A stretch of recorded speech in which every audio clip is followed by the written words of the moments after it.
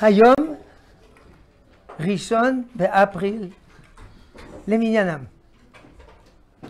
שנקרא בארצות המערב יום הכזב. כלומר, כל אחד ממציא שטויות ומרמה את כולם. אומרים ברדיו, הנהר אה, על עמיגודותיו, האויב תקף, מה תראה זה וזה, מבלפים את האנשים. יום הבלוף הגדול ראשון באפריל. אז בספר ששכחתי שמו, הוא מסביר מאיפה זה בא. אתם יודעים מה קרה בראשון באפריל? בואו, אני אעזור לכם. תשע חודשים לפני שנולד אותו האיש, נכון? ראשון באפריל, תשע חודשים, ראשון בינואר או סוף. כלומר, בחורה אחת נשואה, נכנסה להיריון. לא מבעלה. כמובן זה מאוד הרגיז את בעלה, שלף חרבו, אמר, מי המנוול? היא אמרה, זה מהאלוהים. היא בהיריון מהאלוהים. זה Immaculate Conception, ההשקפה הנקייה. טוב, אם זה האלוהים, מה הוא יכול לומר? אמנם האלוהים תמיד אומר, צריך שרוולים ארוכים ושאר דברים, ולשמור נגיעה וכו', אבל הוא נואף, האלוהים נואף, אבל מה הוא יכול לעשות? אחר כך, כשנולד הילד, היא אמרה, שדרוג, הוא לא בן אלוהים, אלא הוא אלוהים. הוא בעצמו אלוהים. אבל אז מי האלוהים? שניים, שלוש. שלוש הם אחד, אחד שזה שלוש. זה הבלוף הכי גדול שנאמר פעם בהיסטוריה. היא הצליחה לרמות את בעלה. ומיליארדים של נוצרים שהיא לא נאפה, אלא זה הבן של האלוהים. אם יהיו כל הבלופים של המין האנושי על כף מאזניים אחת, והבלוף הזה בצד השני מכריע את כולם. בגמרא יש השמות. בעל סטדה, בועל פנדירה. בעלה קראו לו סטדה, הבועל קראו לו פנדירה. כיוון שהאשכנזים לא אהבו לומר ישוע נוצרי, קראו לו יושקה. זה ביידיש, ישו, יושקה. כי ברור הוא דיבר יידיש. פונדריק, הבן של פנדירה. יושקה פונדריק. יושקה פונדריק. ככה קראו לו. הרמב"ם אומר, אז לפי זה היה ממזר. לא, אומר הרמב"ם באיגרת, תימן. כי פונדריק היה גוי. גוי ויהודה נשואה, יהודה נשואה, הילד לא ממזר. אבל למה חכמים אומרים ממזר? להפליג חרבתו, חרבתו. כלומר, הלכתית הוא לא ממזר, אבל כמו שאומרים ביידיש, הממזר. כן. טיפוס כזה. וכן, יוצא שהדת הזאת היא מבוססת על אלוהים נואף. איי איי איי. אבל גם דתות אחרות. גם מוחמד נואף, גם ההודים נואפים. טוב, זה היה לגבי ראשון באפריל השכלה כללית. אה, יש בדיחה. לוקחים דג מנייר עם סיכה ושמים לו בגב. זה נקרא דג אפריל, דג ראשון באפריל. בדיחה. למה? כי הדג היה סמל הנצרות. כלומר, שני נוצרים היו נפגשים, ולא רצו שידעו, היו עושים ככה ביד. או בחול, סימן דג. כי דג בלטינית עממית זה אישטוס. אישטוס. וזה דומה ליזוס כריסטוס. ישו המשיח. כריסטוס הכוונה המשיח.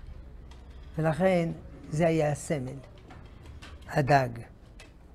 טוב, עד כאן השכלה כללית. אז אה, מצווה לחגוג את האחד באפריל כדי להראות כמה זה שקר? עדיף ללמוד חומש רש"י. אה,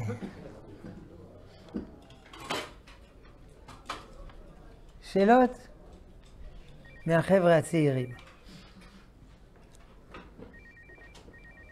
איך אמורה להתבטא עבודת השם של נשים? מה בדבר מקומות שהספר תורה עובר אצל הנשים בתפילה, האם יש בזה בעיה? תשובה. אין הבדל. עבודת השם של הנשים ושל הגברים. אותה עבודת השם. דבקות בשם, מצוות השם, וכולו וכולו.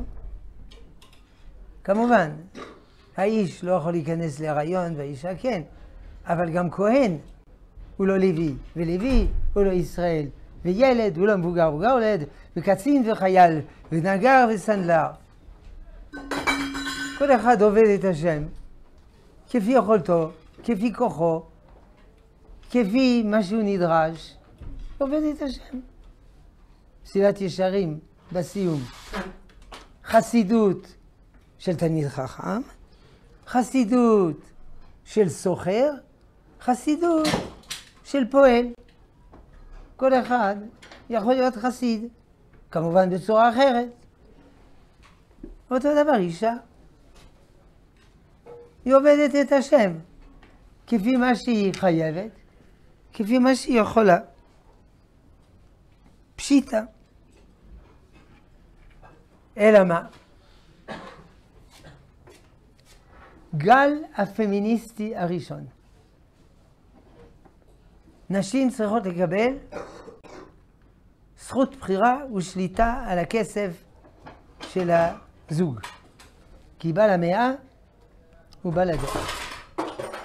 נשים עשו הפגנות, אפשר לראות בתמונות, קראו להן סופרג'טיות, כי סופרג' זה זכות בחירה, יש להן שמלות ארוכות, עם הרבה שכבות וכובעים, נשים אמריקאיות, אנגליות.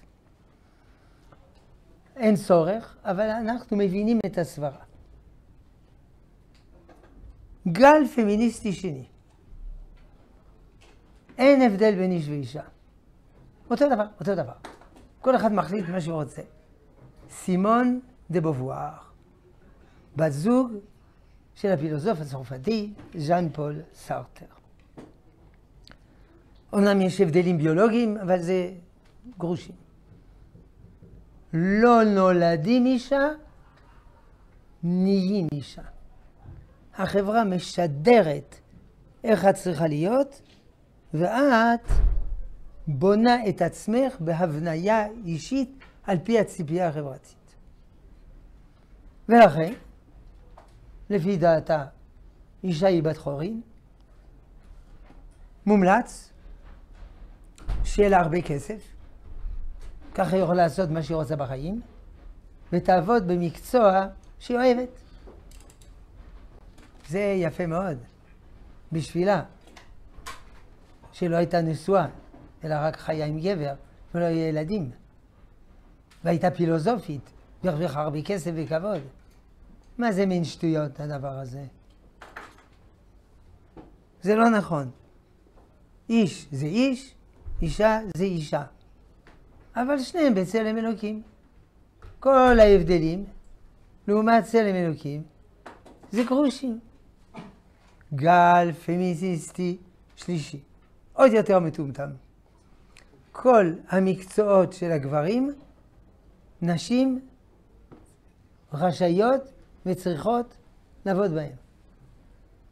להיות מנכ"לית, להיות חיילת קרבית, אני לא יודע מה. סוגריים, כלומר, מקצוע של אישה לא שווה, מקצוע של איש שווה.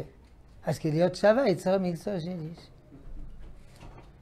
כותבות, הפסיכולוגיות הגויות הגדולות בעולם, הרסתם את האישה. הרסתם לה את האימהות. היא עושה קריירה, אין לה ילדים, וכשיש לה, היא כבר מבוגרת, ואז זה, הרסתם.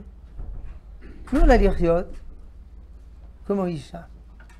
זה הגל הפמיניסטי השלישי. וכמובן, הפוסט-מודרניזם אומר, אין בכלל הגדרה איש ואישה. זה לא קיים. אין, אין. אין יהודי, אין גוי, אין איש, אין אישה, אין טוב, אין רע, אין אמת, אין שקר. על פי חוקי מדינת ישראל, אדם מחליט אם הוא איש או אישה. שומר, לא יודע באיזה שטח, אומר לי, נכנס איש בשירותים של הבנות. הוא לא מחופש לאישה, הוא לבוש כמו איש עם זקן. אני אומר לו, אדוני, זה של נשים, אני אישה. אז זה אישה.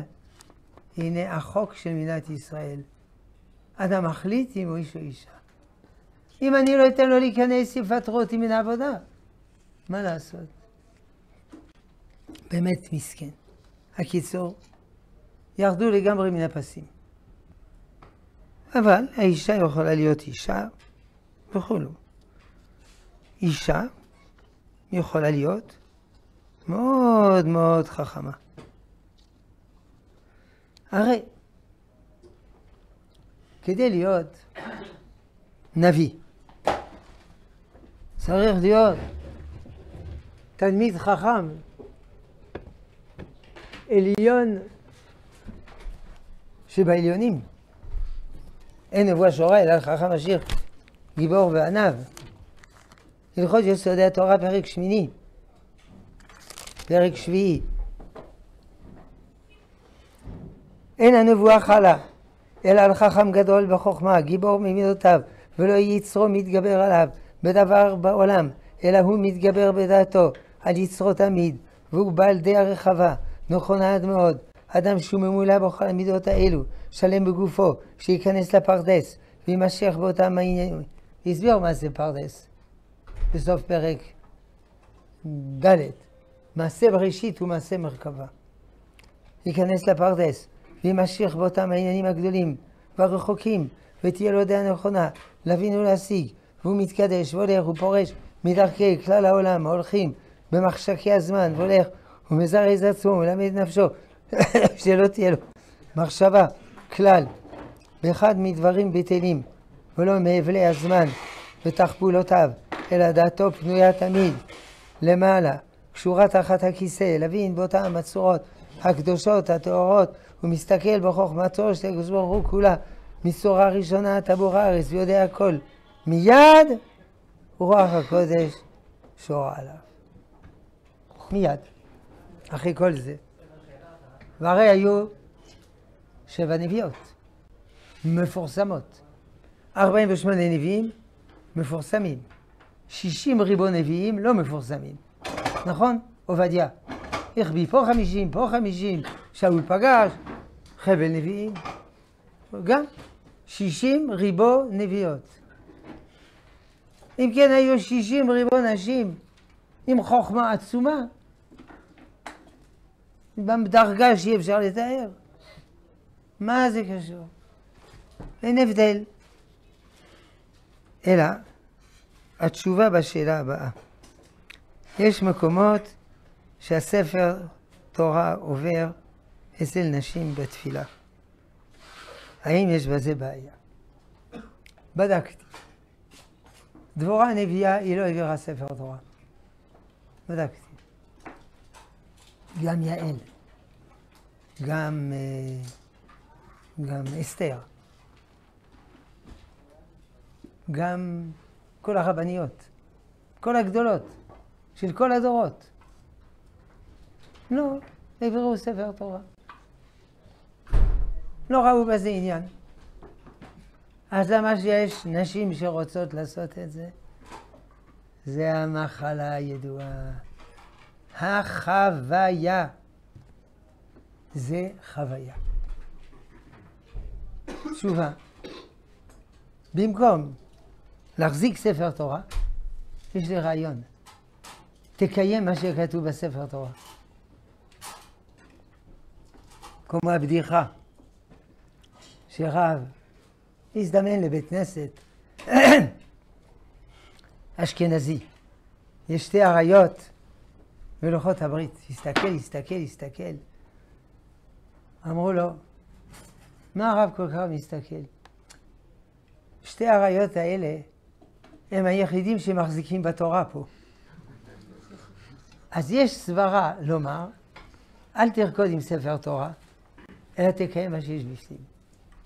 ופעם קראתי אצל אישה אחת, הרבנית ימימה.